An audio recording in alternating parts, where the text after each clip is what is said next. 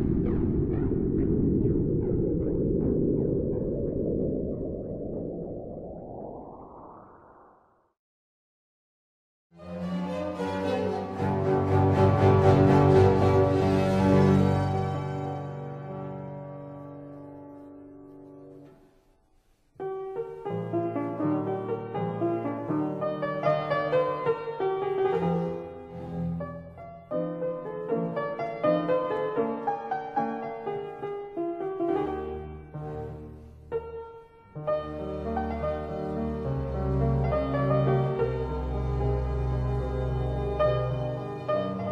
The 12 holes game hall draws its name from the presence of a game table similar to billiards during the 18th century. This room is famous also as the Hall of Giants, because of the painting on the medallion in the center of the vault, too damaged for the critics to be unanimous in attributing it to either Giuseppe Nuvolone, 1619-1793, or to Ercole Procaccini, the younger, 1605-1677. Both painters were highly appreciated by Bartolomeo Arese and active in the painting of other rooms of the palace. This painting depicts a mythological subject with great political value, the assault of the giants at Olympus. The lower part of the painting is a scene of the fury of the giants, huge beings armed with clubs that looked deformed because of the violence.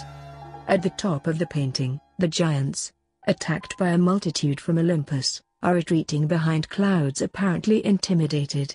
Only Minerva Athena throws herself resolutely against the attackers to repel them, she is portrayed with lifted spear and a protective shield decorated with the head of Medusa. Some books identify the painted scene as Titanomachia, with a clear reference to another mythological episode, attack on Olympus shortly before the Gigantomachia. Various epic poems, in fact, narrate that the war between the gods led by Zeus and the Titans, children of Uranus and Gaia, lasted for more than ten years until the intervention of the Cyclops and the Hecatonchires, giants with a hundred arms. The victory in favor of the gods had their enemies imprisoned in Tartarus, which angered Gaia, the earth, who did not forgive Zeus for this victory over her children.